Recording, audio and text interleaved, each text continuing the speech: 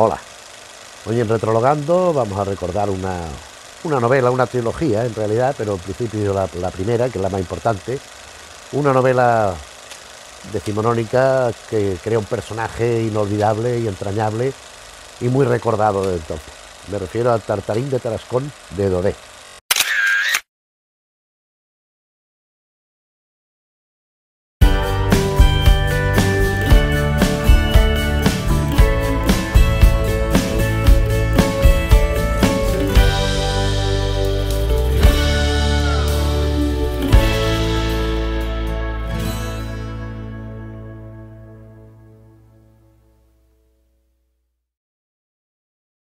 Alphonse Daudet es un escritor francés, eh, provenzal, de la Provenza, que nació en 1840 y, y, falleció en 1897. Él era de una familia que había tenido mucha, mucha influencia en las, en las capas más elevadas de la sociedad francesa, de la monarquía, y de todos los, ministerios, etcétera, etcétera, caída en desgracia. Entonces él, que tenía más hermanos, él pues se dedica a la enseñanza y a leer. A él le gusta mucho leer, es un niño que no, que no es muy de, ir para acá y para allá y correr y tal y cual, y lee, va leyendo, va leyendo, va leyendo, y va haciéndose una cultura, tanto así que, se, que él dio muchísimo, muchísimos años clases de, pues de humanidad, de lo que sería lengua y literatura, pues como profesor. Se siente inclinado por las letras, entonces empieza a escribir una serie de cosas, empezando por unos textos autobiográficos, el ejemplo más clásico es Poquita Cosa, Voy a hablar siempre de las traducciones en español porque si no, entonces ya nos vamos a... Fue autor de, relatos, el libro más conocido de cuentos es Cartas desde, desde, desde mi molino. Fue haciendo una serie de, Sobre todo hizo mucha narrativa de costumbre, costumbrista de la Francia del momento, en especial de, de la, de la Gasconia y de la Provenza. Y su último libro, Recuerdos de un hombre de letras, bueno, donde un poco volvía al principio a la autobiografía, de poquita cosa, que era bastante autobiográfico, sino del todo, para hacer una especie de recensión de lo que ha sido su vida y, y, su, y su escritura. Sin duda, el personaje más famoso y su novela más conseguida es Tartarín de Tarascón, de 1872. Tartarín de Tarascón genera un personaje, crea un personaje, y una corriente que, bueno, que es muy importante. O sea, la historia de, Tartarín yo creo que es muy conocida. Es un señor que reside en un pueblo del mediodía, de lo que se llama el mediodía francés, se llamaba, ahora no sé cómo se llamará, donde es un pueblo peculiar, que se llama Tarascón, que existe, que existe además este pueblo. Sobre esto comentaremos alguna cosilla. Es un pueblo peculiar que pasan cosas, pero y él va tenido por un héroe. Aquí tengo, antes de que se me olvide, el libro Obras Maestras de la Literatura Universal, este tomo de 1964, de una editorial, pone OMLU, Obras Maestras de la Literatura Universal, Alfonso de Saima, Tartarín de Tarascón, Tartarín en los Alpes y por Tarascón, porque son las tres novelas protagonizadas por Tartarín de Tarascón y por por Tartarín y en, parte por su pueblo. Bien, ahora iremos por una por una, empezamos por Tartarín, como digo, donde además descubrimos este pueblo. El pueblo de los cazadores de gorras. ¿Por qué los cazadores de gorras? Pues porque eran muy aficionados a la caza. Todo el pueblo ese, los hombres, se sobreentiende. Hay que entender que estamos hablando de 1872, cuando se publica el libro, pues allí las mujeres pues no tenían demasiada importancia, ¿verdad? O sea, incluso ni, ni aparecen de forma muy tangencial y muy poco. Entonces, aquí son cazadores. Pero resulta que son tan buenos cazadores que en toda la región han aniquilado toda la, fauna que había. Ya no queda ni un solo animal. ¿Y qué cazan? Sus gorras. Son los cazadores de gorras. Pues cogen la gorra, la tiran todo lo lejos que pueden, ¡pam, pam, pam! Y empiezan a dispararle. El que más agujeros lleve en la gorra el que gana. Y el campeón siempre de todo era Tartarín.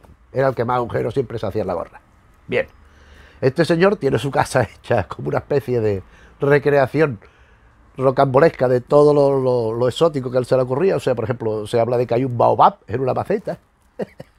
hay plantas extrañas por allí. En las paredes hay flechas envenenadas, que eso, aparte de que no se puede tocar porque te puede envenenar, para él son armas desleales, porque va desde lejos y tal. Bosquetones de todo tipo, trabucos, pistolas, cuchillos, sable, estos machetes, cantidad de armas puestas por ahí. Él es un héroe, él, además, es que es un personaje curioso porque él no miente con intención de mentir. O sea, es un personaje que evidentemente no dice la verdad. Pero no dice la verdad, pero él se cree que es la verdad. O sea, él, por ejemplo, dice que ha ido a pelear con los no sé qué en tal sitio. En este pueblo había un señor que había sido un militar, pero de baja estofa, Bravida, un tal Bravida, era una, una fiera Bravida, que diría el chiquito, que era de intendencia, que era el que iba dando la foto a los soldados, las camisas tal igual. Con el tiempo ya se le considera comandante Bravida, el comandante había llegado a lo más alto en el ejército. Mentira, tampoco, tampoco es verdad. Bueno, pues este señor es el que un poco hace que vaya surgiendo los rumores de que Tartarín ha hecho cosas que en verdad no ha hecho. Y él termina creyéndoselas. Entonces de pronto llega al pueblo, bueno, pasan cosas, no lo voy a contar todo aquí, pero sí algunas de las cosas más conocidas. Llega al pueblo una especie de, zoo ambulante, un circo, con animales. Y hay ahí unas focas, y hay un no sé qué, y hay unos pájaros, y hay un león. Y el león ruge y se impone todo, todo el pueblo, se queda oh, sobrecogido. Y Tartarín, que para eso es el héroe, yo quiero matar un león. Yo quiero cazar un león y punto. Bueno, empieza a decirlo, empieza a decirlo, empieza a decirlo, porque además que sucede una cosa. Que en el pueblo dicen una cosa, era un pueblo que se conoce que se debían de aburrir mucho, porque decían una cosa y le iban dando vueltas, le iban engrandeciendo. Bueno, o sea, por ejemplo, decía, igual yo un día me tiro por una chimenea. Iban diciendo, no iban diciendo, que hasta el punto de que ya le estaban incordiando. Oye, ¿qué estás esperando? Que dijiste que mañana te iba a tirar por la chimenea. Y el pobre tío tenía que hacer lo que. Pues esto es un poco igual. Pues yo quiero cazar un león. Entonces el tío se va informando de los leones, va viendo. Dice que, que vivían en Argelia. No sé por qué en Argelia había leones. No en Nigeria o en Kenia, no, en Argelia. Bueno. Y el pobre tío, más porque el tío lo decía, pero ya lo iba dejando caer, ya se lo olvidaba, y venían los demás y se lo iban recordando. ¿Y cuándo vaya a cazar león? ¿Cuándo El tío ya no me queréis dejar de agobiar. Entonces decide ir. Entonces se va en un barco, lleva todo su, armamento, sus cosas, y un gorro, un, kefir de, un kefir de estos rojos, en el barco se va mareando. Y el kefir le sirve para echar las potadas, para dormir encima, y llega hecho un burruño, un higo allí. Bueno, la cuestión conoce a una especie de príncipe, que es un señor que es un estafador, es un engañabobos, que es un tío que va viendo de, los demás, del cuento. Aunque también en la historia tiene bastantes momentos oportunos. Bueno, y en Argelia llegan allí y de pronto ve un león en la calle. ¡Hostia, qué es esto! Y era un león que iba con un platito de madera en la boca, porque era ciego y lo usaban dos negros que había allí, dos mendigos, para pedir. y el pobre loco, oh, con el, sin ver nada, con el platito para que le echaran dinerito. Cuando el, tartarín lo ve, sé que lo quiere cazar.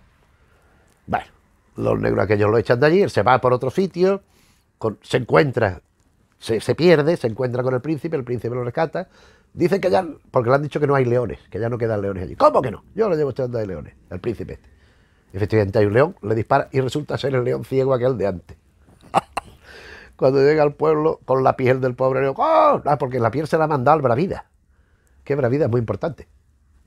La piel se la había mandado para que, y cuando llega allí lo, acogen como un héroe, que es el matador de leones. Entonces ya queda allí y él vuelve a creerse toda esta mitología heroica que están contando.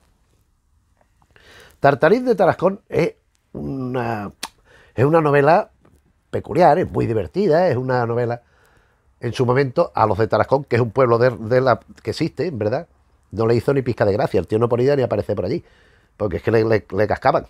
Tanto así que el, que el, personaje no se iba a llamar Tartarín, se iba a llamar Barbarín. Pero resulta que en el mismo Tarancón había una familia que se llamaba Barbarín. Y como usted nos ponga, le ponga ese nombre, lo denunciamos y vamos a tener razón porque es nuestro nombre. Y le tuvo que poner otro nombre que es Tartarín. Pero todas estas cosas que van metiendo de la gente del pueblo, que van exagerando, cómo van haciendo lo de la gorra, los cazadores de gorra, es que parece una cosa maravillosa, los cazadores de gorra. Es que. Y es un libro explícitamente deudor, pero que en mi opinión no le alcanza ni a la suela del zapato, del Quijote de Cervantes. Él todo el rato, el Dodet, todo el rato, nos va, nos va eh, emparejando el tartarín Quijote y el tartarín Sancho. El Tartarín Quijote, aventuras, quiero salir a, cazar. El Tartarín Sancho, qué bien, qué cómodo estoy en mi casa, frente a la chimenea, con mis pantuflas puestas y tomándome un refrigerio muy agradable. El, Tartarín Quijote, voy a ir a pelear con ese, tal. El Tartarín Sancho, uy, ahí hay follas, me voy a ir para el otro lado, no sea que me metan a mí también por medio y tenga salado. Y un poco así. Pero claro, o sea, es indudable que Dodé admiraba al Quijote, admiraba a Cervantes, pero en mi opinión yo creo que se quedó un poco en la estructura superficial, que arañó muy poquito en la cosa y se quedó con lo, con lo más evidente, con lo más infantil, y es lo que traslada aquí. Tanto así que Tartarín Tarascón muchos años ha sido considerado, como tantas otras grandes obras de la literatura universal, ha sido considerada obra para niños, obra infantil. Y yo creo que no lo es, porque es que los niños no pueden entender determinadas cosas, a no ser que tengan unos conocimientos enciclopédicos de lo que es el medio francés, de lo que es la Provenza, el Tarascón, todo esto. Bueno, la cuestión, que este libro, Tartarín de Tarascón, el primero de la trilogía, funciona estupendamente, bueno, va viendo, él va intentando otras cosas, pero no consigue el éxito que consigue con Tartarín. Y en 1885 recupera a su héroe para hacer Tartarín en los Alpes. Es que, es que esto es muy, muy cómodo porque es un volumen. Lo que pasa es que no se ve nada. Hay que abrirlo para ver lo que pone fuera. Pero en un volumen vienen los tres y está muy bien. Y además está muy bien traducido. Es una traducción, vamos a decirlo, ya que lo estamos comentando. Porque es que está de eh, prólogo de Juan Francisco Torres, prólogo de A. Torres. Pues A. Torres.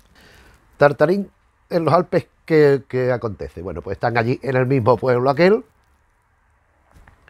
Y hay que, claro, espoleados por su héroe, por Tartarín, hay que buscar aventura. Hay que, que, que buscar desafío y, y que no se le ocurre nada mejor que irse a los glaciares de los Alpes, a escalar allí a, pues, a, vivir, a, encontrarse con el Yeti, a resistir avalanchas, a estar allí con, con ¿cómo se llama? Con escaladores y, haciendo las, las, peripecias que se supone que se hacen en estos sitios. Allá que se van, pom, pom, pom, pom, y que se encuentran con un hotel de lujo. Al sitio donde van había de todo menos escaladores. había, gente que hacía bromistas, había gente del bon vivant, gente de dinero, tal, un hotel de lujo. Entonces, ellos esperaban que allí llevaban las mochilas con las tiendecitas de campaña, que no fueran tampoco, que fueran muy gruesas, para que no entrara frío, pero que no fueran muy grandes, porque si ponían mucho, a lo mejor se, iba para abajo el hielo y se iban al fondo, yo no sé qué historia. Entonces, claro, el contraste es una, así como el otro, pues es un personaje, una historia sobre un personaje.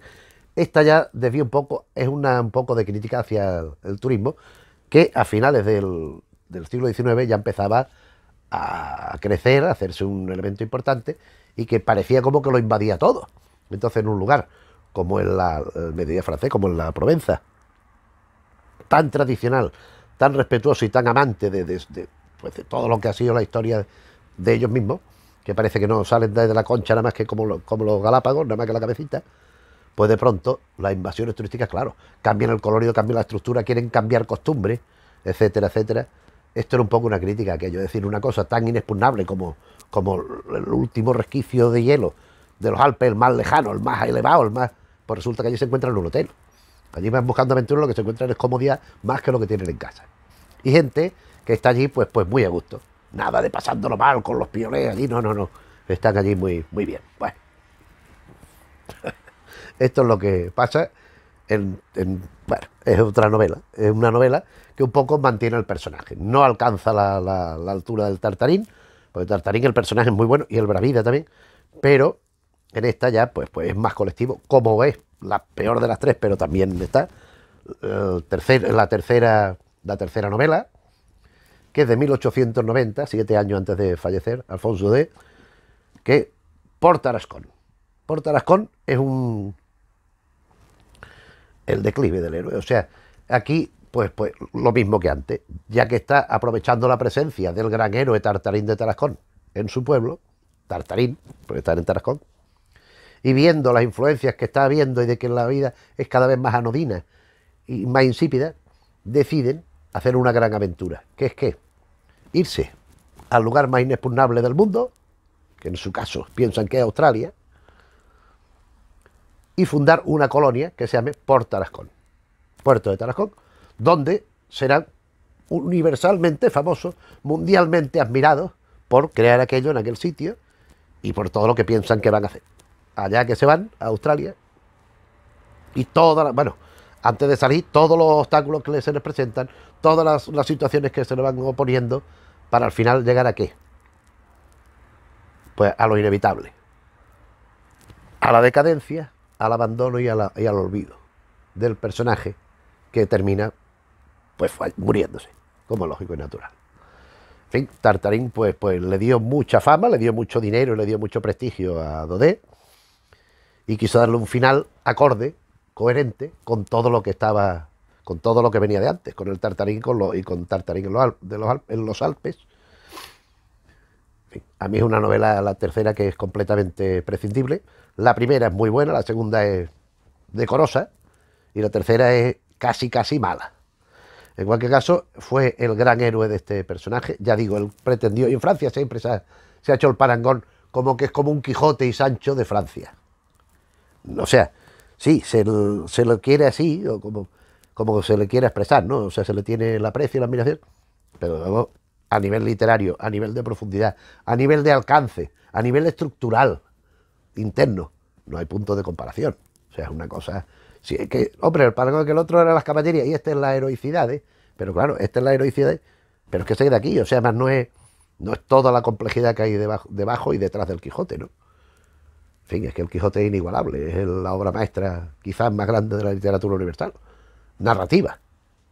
En teatro tendríamos a Shakespeare. Pero bueno, en fin, no me enrollo más.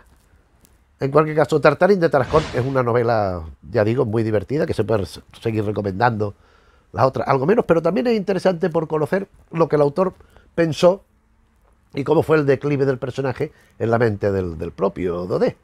Pues por eso está esta trilogía que hemos querido hoy refrendar aquí de alguna manera.